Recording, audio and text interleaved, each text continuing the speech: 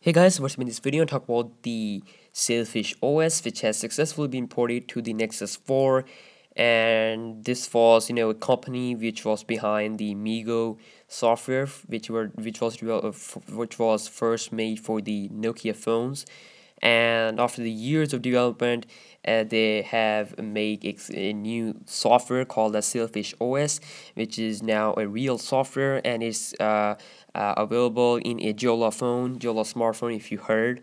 And also at, at least it is you know a open de uh, dev dev friendly software. So uh, this open source sourced OS was finally uh, you know finally uh, introduced to the Nexus 4 and also thankfully uh, this is uh, the the Sailfish OS is working uh, cool on the Nexus 4 without any problems. You can check out the description of this video if you want to watch the original video. So uh, the, the Jolla smartphone uh, was you know having was a real smartphone with the stock uh, with the stock Sailfish OS and this smartphone is uh, a lower mid-range uh, has a lower mid-range hardware and at least specs wise but Sailfish OS is now a different topic. It's a uh, quite uh, alternative OS quite alternative OS of Android and of course uh, they have said that they, they promise that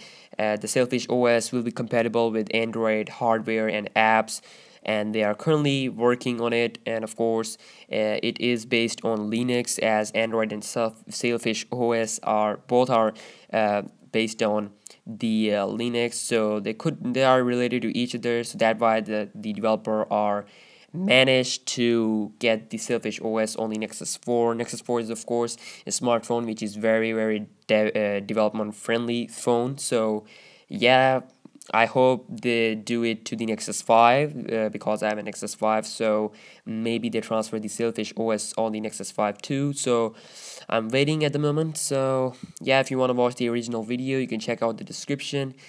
And yeah I want to see you in the next video. Peace